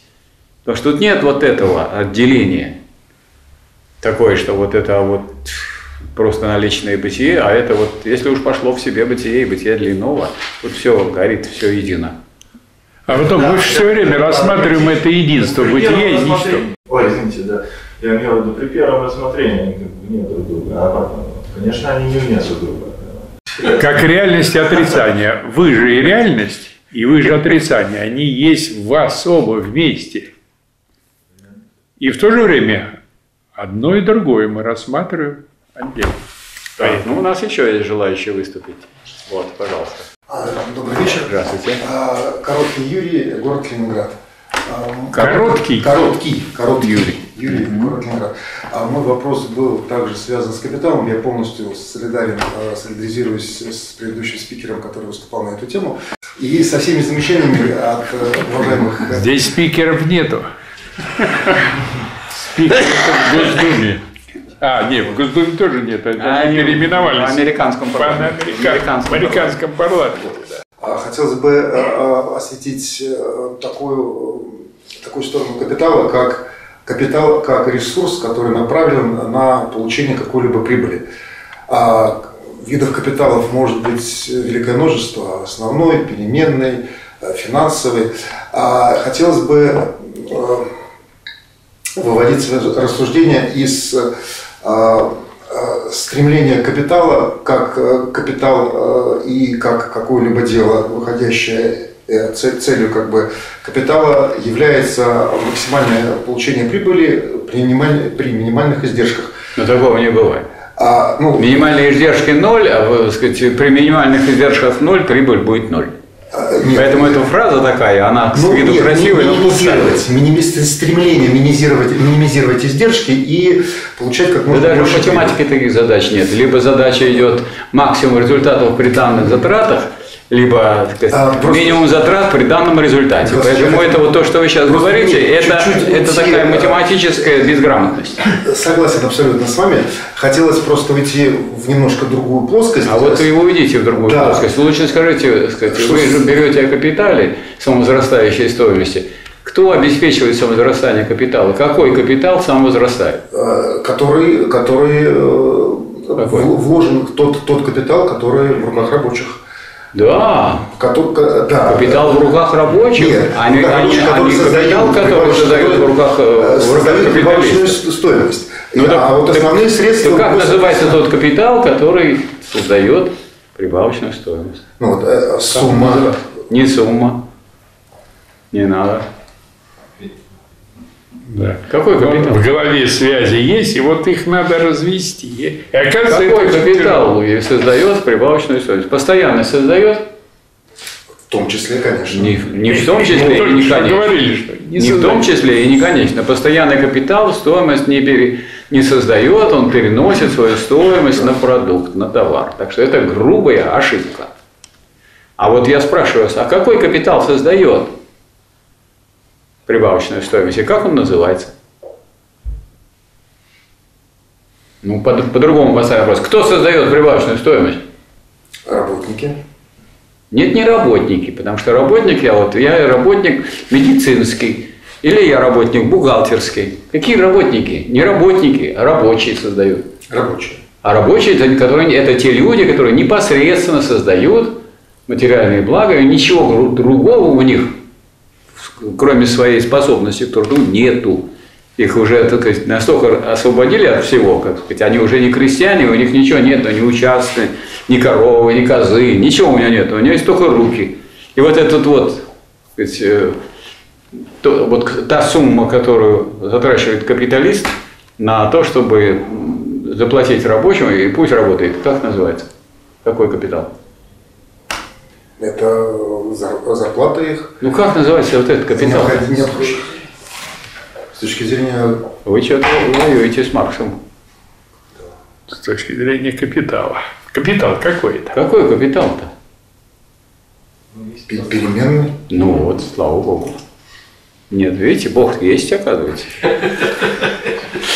главное, чтобы с ним связи устанавливались. А вот я чувствую, вы долго очень устанавливали. Мы и так тут на пятом этаже. Вроде бы связь хорошая должна быть. Ну вот все. Просто там туча была. Значит, переменный капитал. Переменный капитал это что? А это в, в таком в обычном виде это что? Это зарплата. Зарплата, вот сумма зарплаты, которая, которая выдается этому самому работнику. Зарплату эту выдают тогда, когда уже создана она, этот капитал. Конечно. Да, уже он уже и прибыль создал, а ему Да. только зарплату и дают. Сплошь и рядом. То есть работник авансом выдает э, свой труд, Да, а совершенно этого, верно. э, Да. получает от Вот. капиталиста Да. э, часть переменного Да, капитала. вот так хорошо. А иначе вы с- не с той, не из той степи, так сказать, зашли. Вот, вот переменный капитал, это, вот, так сказать, это по существу овеществленный труд кого? Работника, который создает... Опять. Рабочего. Не. Рабочего, рабочего, рабочего, да. Вот я работник, ничего я никогда не создаю. Ну, имеется в виду, может быть, э, Михаил Васильевич, в том числе и э, научно- научно-технический какой-то персонал, э, Ничего подобного. Ничего, ни, ни в какой мере. руководят рабочими. Не, не, ничего, ну и что? Ну и руководить. Никакой капитал, кроме рабочего класса, кроме переменного капитала, стоимость не создает. Никакой. Михаил Васильевич, я просто хотел э, добавить э, полностью... Вы красивее хотели сделать Да. картину, я понял. Капитал, он э, стремится сделать деньги вне каких-то моральных критериев, как, скажем, например, если э, человеку, э, человек понимает, что можно построить завод и на этом сделать Да. деньги, он это делает. А, и также аналогично он поступает, если можно разрушить завод. Но мы-то знаем, что все равно делают, все равно будут строить хоть завод, хоть разрушать завод, и то будут опять пришлют рабочих, чтобы они разломали эти стенки. Да. Никуда вы не денетесь от этих То есть, как бы можно делать и на плюсе, и на минусе. все что угодно. А, в отличие, что скажем, угодно. от- от это- социализма, это- когда- Это, это же вы о ком говорите, о Все. капиталисте. Да. А что такое капиталист? Э, Эксплуататор. Ну, это правильно, Это но это вообще это персонифицированный капитал. Чтобы правильно говорить про капиталиста, надо хорошо знать, он, он персонифицирует весь капитал, и переменный, и постоянный. Но также может быть и государственный э, капиталист, который не, не так персонифицировал, как, который руководится Да какая разница, кто руководит? государством. Ну и что? Как- как? Ну и что? И Вот государство- э, а что, государство не может быть капиталистом? Очень Да, просто. я про это говорю, что э, может быть э, размыто понятие. То есть, вот, Ничего вот на тут не размыто, ничего тут размытого нет. Обычный капиталист, только название государства и все. О чем разница? Не, Но там ничего. какие-то персоналии могут быть как менеджеры, как Миллер, там, э, Ведь и персонали не относятся к чему? Э, к- к менеджеру, к управленцу. Да. Рабочие приказчики класса буржуазии. Labor latent в капиталист класс. Рабочие приказчики класса буржуазии. Вот они ходят, над всеми командуют, значит, из всех высасывают соки, но основные, так сказать, капитал все равно получает капиталист. А они получают меньше. Но гораздо больше, чем рабочий. Только и всего. Но если ты находишься близко к управлению, ты можешь получать гораздо больше, чем какой-то тот Вот же я и стремлюсь, может да, я, и вот мы сидим, поэтому здесь в капиталист. управлении с, с Ну, в Александром Сергеевичем, получает то, что создал рабочий. Но все равно Нет, что э, государственный чиновник, находясь на госслужбе, может официально получать гораздо больше ресурсов, Да. чем подчас... э, Ну, в Доме 4, какой- 400 тысяч получают, а вы идите, ищи 400 тысяч, не так найдете быстро такую работу. Даже, Ну, это 400 тысяч, это как бы официальное. да. Это то, что, то, что депутат отдает супруге. А остальные 15 миллионов он тратит в другом месте. Остальные вы увидели на этой ночной вечеринке, которую Ивлева организовала. Говорит, там потратились, понимаешь, 130 с лишним с них миллионов собирается обратно взять и так далее. Или миллиард с них стрясти. Да, так что вот вам, пожалуйста. То есть люди далекие вообще от всякого производства и далекие от, от капиталистического производства, они уже, это люди, которые тратят прибавочную стоимость на, так сказать, и тратят ее так сказать, Зато они для того, чтобы демонстрировать свое богатство и унизить, чтобы унизить всех трудящихся. Вот вы, Лазарев, вот вы работаете, а вы нищет, никто, ни, ни, нищета. А мы вот, видите, какие мы. Они считают, что мы сами себя унижены. Природа. А нам плевать, что они считают. У нас марксизм тут. Так, ну, так сказать, как, мы разобрались с вами? Ну, Что-то вас благодаря, благодаря выходу я хоть, хоть, хоть что-то что понял Это о хорошо. переменном капитале, о том, что он существует, и то, что... Переменный капитал. Вот переменный капитал – это деньги, выделенные на зарплату. Вот и все. Но эти деньги, которые выделяет на зарплату, сначала рабочий создаст, и он, он уже создаст зарплату, еще ему зарплаты не дают, и только ему там где-то во второй половине э, месяца выплатят зарплату, а уже он создал и зарплату, и прибавочную стоимость, и так. А, Михаил Васильевич, а вот э, износ инструментов, э, Износ инструментов и все станки, инструменты – это постоянный капитал. Читайте «Капитал». Вы Маркса «Капитал» не читали. да. Это ви- очевидно без, без э, всяких, без, без, оч- без очков, без да, без микроскопа. Потому что у него все, я бы сказал, некоторые говорят, что уж слишком все подробно у него разжевано. Ну, все разжевано, все категории, все там раз. И постоянный капитал, и переменный капитал. Потом второй том это вот вы создали, а в магазин не привезли. А вот эти все поездки в магазины, все эти товар идет с этой точки земли в ту точку земли, на самолете, на поезде, на этих самых автомобилях, где угодно, на кораблях, на самолетах и так далее. Где это? Это второй том капитала. А иначе вот вы здесь, мы здесь создали продукт, вы умираете с голоду, а мы здесь тут сидим объедаемся. Потому что надо доставить еще на тот край земли. И край, на край земли достают мощные идут корабли, как вы знаете, с этими э, соответствующими грузами. Вот, существует, и на самолетом доставляют, и по железным дорогам. Это, это, это дом второй. А дом третий, это вот там, где уже и танцульки, и где вот такие бирюльки, и когда значит, эти люди все мучаются, рабочие такие, такие, такие-то, и даже не рабочие, которые все-таки полезные вещи делают, а эти проедают просто все, и им доставляет удовольствие издеваться над людьми. Сказать, вот у вас вы так-то не кушаете, как мы. А, значит, Зачет можно поставить? Можем. Так, у нас еще есть один товарищ. Поставили, да? Значит, вас зовут Потяткин Олег, Потяткин. город Ленинград. О, вот это хорошо, что Ленинград. Так, ну, у меня 29-й вопрос. Коммунистическое движение в России и в мире. Вот. Ничего себе. Хочу со слов значит, Фридрих Энгельс и Карл Маркс в манифесте О, как он. 48 года писали «Призрак бродит по Европе, призрак коммунизма». То есть в те годы коммунистическое движение в Европе, ну, соответственно, в России уже было. Зайдя а, Я еще во всемирную паутину, я а, забил коммунистическое движение, и мне интернет выдал 25 партий, объединяющихся словом «коммунистическое».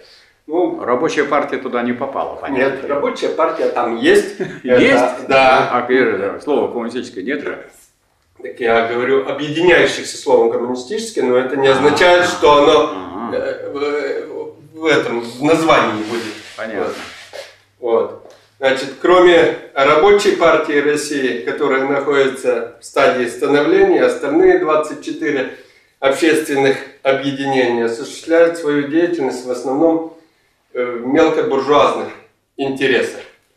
Ну, со своей точки зрения, как слушатель э, первого университета, э, значит, ну, немножко еще сказать, что под коммунистическим э, движением я считаю, что мы должны понимать борьбу рабочего класса за свои права под руководством соответствующей партии. За права или за интересы будем бороться?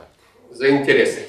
Вам каких-то прав не хватает, или у вас, э, сказать, вам нужна борьба за экономические интересы? И экономические, и политические. Ну, за интересы все-таки, а Да. иначе это очень слабо, права. Всё понятно. Да есть у вас, это так вот спрашивает, вы- пришел человек к адвокату, имею ли я право? Тот говорит, да имеете, имеете.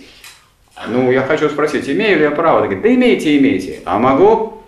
Нет, не можете. То есть Вот. вопрос не о правах, а вопрос, э, так сказать, о том, Об интересах. об интересах экономических. Ну и как слушатель первого отделения, каким образом я должен участвовать в коммунистическом э, движении? Я считаю так. Первое это изучать основы марксизма-ленинизма, чем я здесь и занимаюсь на своем рабочем месте, показывать э, коллегам о том, что нет всеобщего понятия справедливости, а есть борьба между классами, ну и, соответственно, э, а- а разъяснять им, что те знания, которые я получаю, они позволяют, как говорится, мне видеть, э, что капитализм в конечном итоге э, при моей жизни или не при моей, но закончит свое существование и построится бесклассовое общество Само. с помощью рабочих. А, то есть рабочий хоть помогать будет немного. А, а так само устроиться самым самым. Они этого добьются. Ну, Кто третье, будет создавать э, коммунистическое общество? Все-таки так я не понял. значит, коммунистическое общество будет создавать пролетариат Да. под руководством соответствующей партии.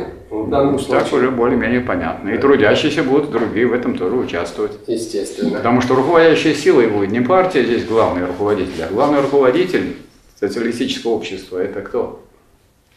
Пролетариат. Рабочий. Он уже не пролетариат, потому что он не лишенный собственности. Если он уже установил социализм, А, будет а, а, общественная собственность. Да, если он средства установил социализм, то вот рабочий класс и есть вот тот руководитель общества, а у него есть партия, это само собой, как голова должна быть. А но один рабочий класс может все сделать? Не может. Даже Ленин говорил, что не все рабочие могут руководить. Только городские, фабрично-заводские, промышленные рабочие. А Остальные не в состоянии руководить всей массой трудящихся эксплуатированных. Спасибо. Есть еще? Да хватит. Хватит, да? Значит, товарищи, я думаю, что у нас было очень интересное и содержательное мероприятие. Смысл этого мероприятия, конечно, не в том, чтобы мы что-то спросили, а вы что-то ответили. Правильно? Мы использовали то время, которое выделяется на это дело, и с одной стороны для того, чтобы оценить все-таки довольно строго, все-таки отвечает человек на вопрос или не отвечает. И второе, ну, побудить товарищей глубже идти и не сводить дело вот к, к тому, что вы от, от всего от, от- отвлеклись и э, рубленными фразами э, где-то что-то сказали. Потому что все соединено на самом деле в одно, правда? И раз все соединено в одно, то, сказать, эту надо ситуацию учитывать. В том числе и ситуацию, которая у нас. А, Учитывая эту нашу ситуацию, я бы хотел отметить особо, что вот мы, вот сколько уже, 8 лет вы говорите? 12. 12. 12 лет мы пропагандируем марксизм-ленинизм. Три источника, три составных части марксизма, кто, кто-нибудь хоть бы попробовал нам помешать. Вот какие в России существуют условия. Почему? Они существуют исторически, потому что под нашим этим капитализмом находится социализм. У нас капитализм на основе социализма.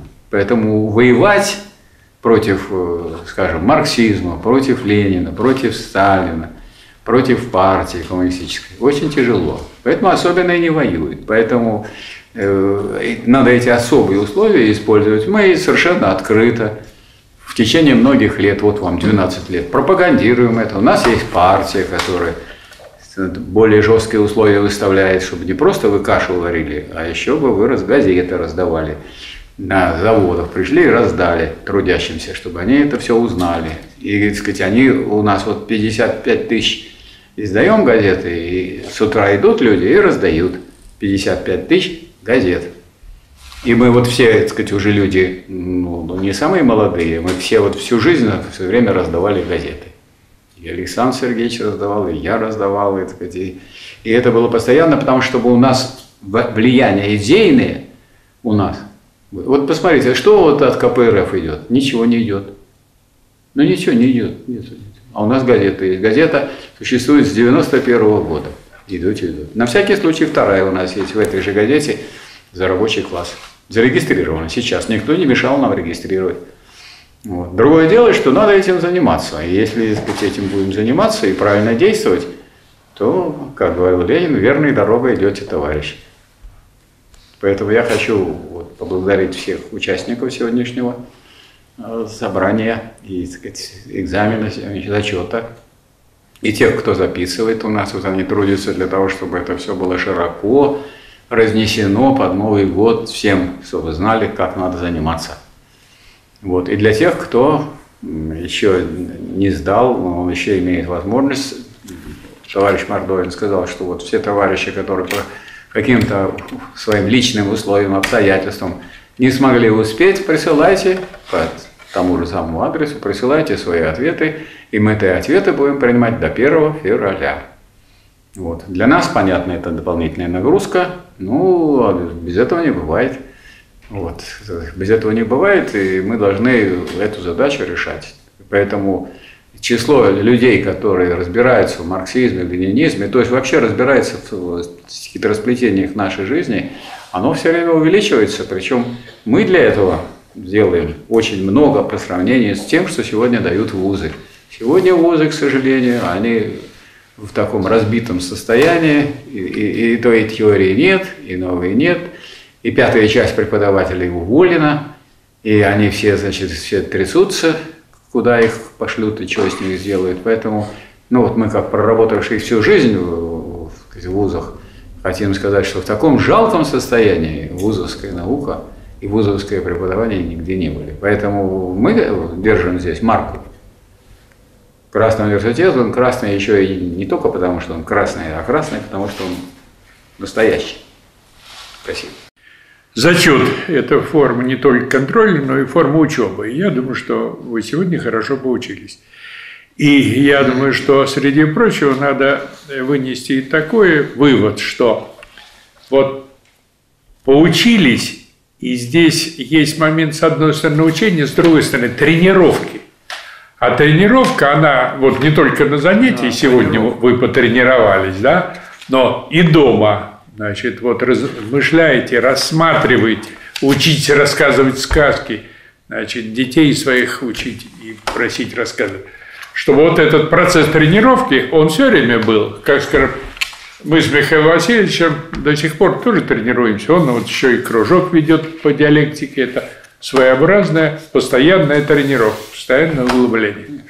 Поэтому и вам мы пожелаем тренироваться, углубляться и таким образом развиваться. Надежды ни на кого нету нынче. Вот я вам говорил про Спицына, про других товарищей. Не на кого понадеяться.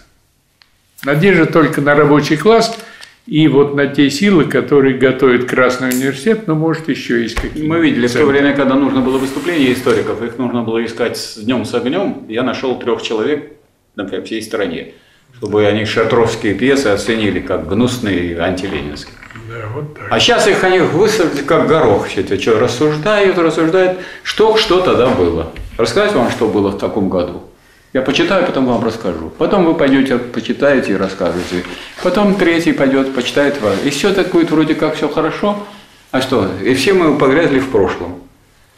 Вы не собираете? Даже, скажем, вот ну, Сталина очень сильно уважают. А что, читают его Сталина? Здорово? Не здорово. Ну, все 18 томов. Возьмите да прочитайте. Нет, будут спрашивать, а что Сталин говорил по этому поводу, что он делал по этому поводу. Вы еще безграмотные люди, крестьяне. Прочитайте и узнаете. А враги о нем наговорили чуши, оболгали, и у них, им это преподавали в школе и в вузах, и у них вся голова этой чуши о Сталине полна. Поэтому, конечно, кто хочет разобраться, тот должен читать и Сталина, и Ленина. И Мы Маркса. всякие облегчающие вещи делали. Вот есть обсуждение работ Ленина, 45 томов висит в интернете, которые мы сделали там с Удовиченко. И обсуждение 18 томов Сталина тоже. Ну и других произведений уже Маркса, Энгельса, Ленина, но прежде всего и Ленин, и Сталин. и обсуждение это есть. И никто, так сказать, вам, так сказать, не мешает это самому изучать, потому что ну, вы скажете, что вы от нас научились, а думаете, вы от Ленина хуже научитесь, чем от нас с Александром Сергеевичем или от Сталина? Ну, так а кто мешает вам и- иметь этих учителей? Чтобы иметь этих учителей, надо просто садиться и читать. И все. Ну что, хватит, Михаил Хватит, Васильевич, да. на этой оптимистичной ноте. И для этого нужен тогда шестичасовой рабочий день. Мы больше будем. Во, вот давайте бороться за шестичасовой Да. рабочий день. Почему Спасибо. Не делали. До свидания.